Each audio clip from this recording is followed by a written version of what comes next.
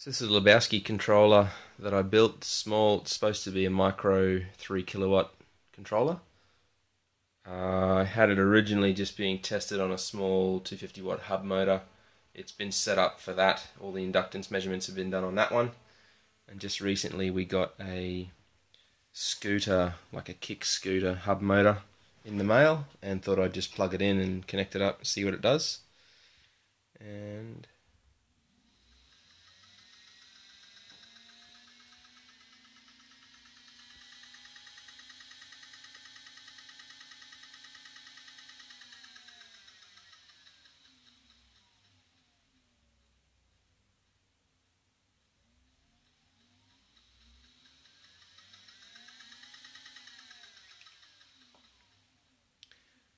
it spins first try. Uh, I didn't even have to worry about going through the settings to recalibrate. So that worked quite well. So I've just decided to run it again. Uh, I've just swapped a couple of the phase leads so it runs in the opposite direction. And I've removed the little washer so it doesn't tick anymore. So it's actually very silent. It's not making a lot of noise at all, and in fact, once it's on the scooter, I don't think anyone will really notice that it's got a hub motor on it at all. Certainly not like the, the Razor chain drive scooters that you see cruising around the streets.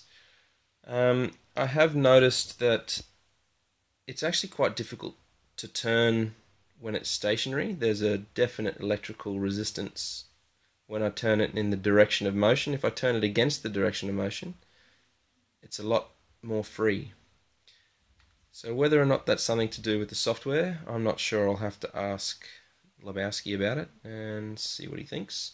Um, perhaps I, if I redo the calibration, it'll come good. But at the moment, like I said, it's still calibrated for that motor. Uh, it just happens to work. So I'll run through the settings and see what it does uh, and go from there. Okay, so it's been reconfigured with uh, the settings to measure the inductance correctly. Then everything was auto completed back in the configuration screen. All the settings were saved.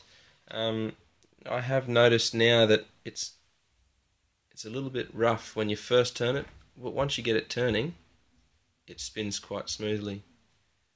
So it's really just getting it from a stop start and turning is the uh, is the the slightly um, resistant part. But after that, spins quite smoothly. And of course, once you get it going, once you hit the throttle, it just picks up and synchronizes straight away. So it's all good from there. Uh, that's it for tonight. hopefully, we'll get it on the scooter this weekend.